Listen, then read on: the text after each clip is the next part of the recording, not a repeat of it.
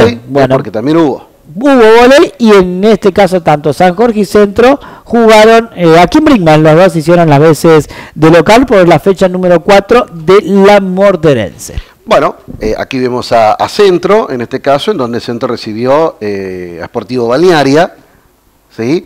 en donde fue mm, derrota en sub-12 2-1, y después Centro ya ganó sub-13 2-0, sub-14 2-0, sub-16 2-0 y sub-18 2-0 también.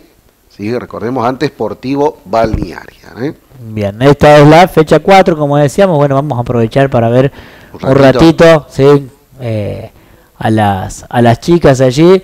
Eh, se llegó nuestro compañero Gustavo Rojas, como siempre, recorriendo las canchas, recorriendo los polideportivos eh, de la ciudad para tomar un poco las imágenes que, que nos dejan. Eh, en este caso, Centro recibía a Sportivo Balneario, un centro que también en volei viene haciendo eh, un gran trabajo, que eh, suele tener eh, buenos resultados también. y bueno, y con un polideportivo que siempre está lleno de actividades. Sí, sí. Allí, alguna, puede ser que era Julia Cuña que la vi. Sí, sí. Nuestra- Sí, sí, Juli. Ahí está Juli, la, la hija de nuestro amigo Alexis, que seguramente nos está viendo, siempre no. Siempre que puede nos ve, a veces Sí, trabajar en sí, el horario de la tarde, sí. Exactamente, algún horario siempre se le, se le llega a, a complicar.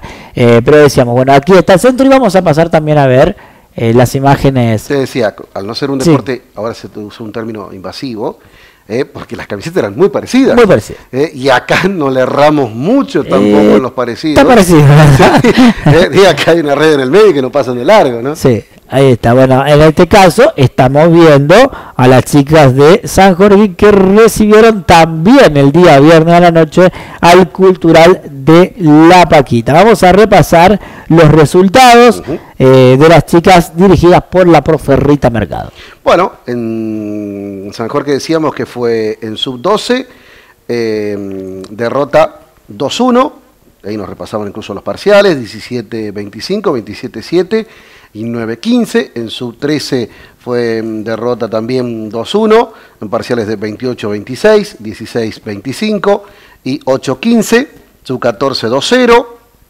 parciales de 17-25 y 11-25.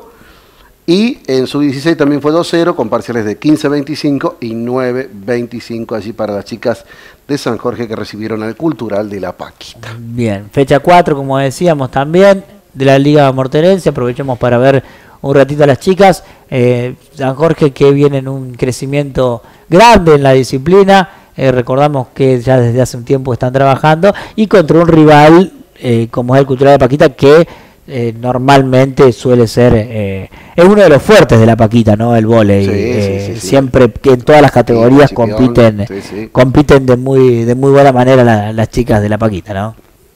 Allí vemos algunas imágenes también, decíamos. Esto se fue dando el viernes eh, por la tarde-noche. Exactamente. Viernes por la noche. Allí las imágenes. Le agradecemos otra vez a Gustavo que pasó de un pollo al otro, ¿sí? Para, para tomar eh, la- las distintas imágenes.